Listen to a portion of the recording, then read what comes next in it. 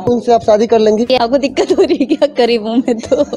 अब अब ठीक हो गई ना अब ज़्यादा ना बोलो ना तो बवाल हो जाए। जातिवादी तो आजकल लोग कर ही रहे हैं इंडस्ट्री में। अच्छा इंडस्ट्री में क्या कर रहा है? चलिए। सिंह और खेसारी लाल यादव में पसंदीदा कौन है आपका? कैसी है मैम? मैं अच्छी हूँ आप कैसे हैं? हम भी अच्छे हैं। अच्छा ज़्यादातर आप पवन सिंह के करीब नज़र आ रही है? इसको लेके क्या कुछ कहेंगे? आपको दिक्कत हो रही है क्या करीब में तो? दिक्कत नहीं है लेकिन काफ़ी ज़्यादा सवाल खड़े किए जा रहे हैं इसको लेके।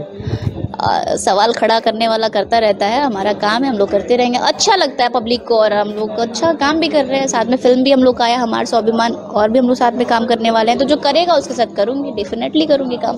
जो नहीं करेगा उसके साथ नहीं करूँगी। शादी कब करने वाले हैं? शादी के लिए लड़का ढूंढ दीजिए आप लोग मैं कर लूँगी शादी।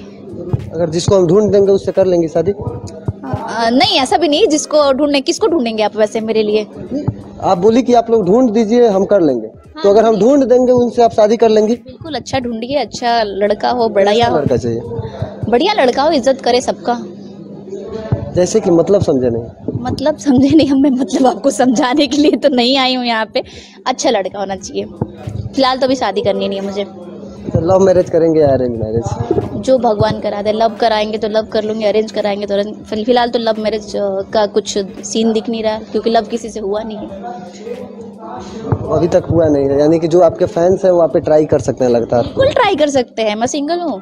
तो पवन सिंह और खेसारी लाल यादव में पसंदीदा कौन है आपका? दोनों लोग हैं। पवन जी भी हैं खेसारी जी भी हैं। दोनों लोग हैं? जी। अगर बात गायकी की की जाए तो किन का गायकी आपको ज़्यादा पसंद आता है? दोनों लोगों का। दोनों लोगों का? जी। कुछ तो किसी में एक बेहतर होगा? आपको कौन पसंद है? हम तो एज ए पत्रकार किसी एक विशेष को नहीं बता सकते। लेकिन आप एज एक्ट्रेस किसी एक विशेष को बता सकते हैं। मुझे कैसे सवाल कर सकते हैं कि एज एक्टर आप किसी सिर्फ़ सिर्फ़ एक ही आदमी को बता सकते हैं? मेरे दोनों फेवरेट हैं दोनों अच्छा गाते हैं। खाली बबुआने के राज चले? हाँ सही क्वेश्चन किया आपने। तो मैं बता दूँ आप सभी को आप सभी को और आपको बता दूँ कि ऐसा कुछ भी मैंने नहीं बोला था। वहाँ पे पब्लिक सारे बबुआन का जो भी था, एक जातिवादी तो आजकल लोग कर ही रहे हैं इंडस्ट्री में। जातिवादी पे गाना गा रहे तो मैंने किसी के व्यक्ति विशेष विशेष कुछ बोला ही नहीं मैम। किसी के ऊपर मैंने कुछ बोला नहीं, किसी जात के ऊपर मैंने नहीं बोला।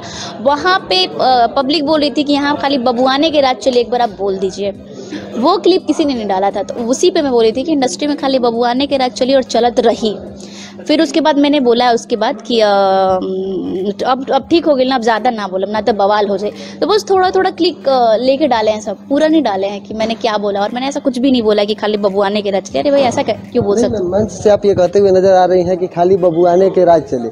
और और कह रही हैं आगे कि अगर ज़्यादा बोलब तो बवाल हो जाए हाँ ये बोला है मैंने कि ज़्यादा बोला तो हम बवाल हो जाए। क्यों? क्योंकि वो बुलवा रहे थे हम सब कि आप बोलिए कि हम इंडस्ट्री में क्योंकि आराम में सब आप जानते ही अभी मैं छपरा में प्रोग्राम करने गई थी तो वहाँ अलग ही था माहौल।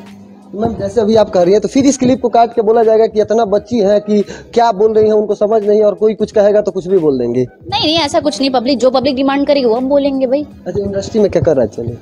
सबका राज चलेगा ऐसा नहीं है। इंडस्ट्री में केकर राज चली सबके राज चली। जे अच्छा काम करी जे अच्छा टैलेंटेड हो ओकर सब चीज़ चली। अच्छा हम चाहेंगे अपना कोई पसंदीदा गाना हमारे दर्शकों को सुना दीजिए। हम्म, ना कौनो हाट ना बजरिया से होला। ना कौनो हाट ना बजरिया से होला। उमरिया के रोग ह नज़रिया से होला। उमरिया के रोग ह नज़रिया से होला। थैंक यू अच्छी बात है गॉड गिफ्टेड है। गायकी के साथ एक्टर अच्छी हूँ दोनों, मैम दोनों चीज़ को कैसे देखते हैं? दोनों चीज़ को अपने नज़रियों से देखती हूँ मैं। एंजॉय करती हूँ अपने काम को। सिंगिंग भी अच्छा कर लेती हूँ एक्टिंग भी अच्छा कर लेती हूँ। डांस भी अच्छा कर लेती हूँ थोड़ा बहुत। दर्शकों से ये विनती करूँगी कि हमारा गाना है हर आप सब देखिए और सुनिए। Thank you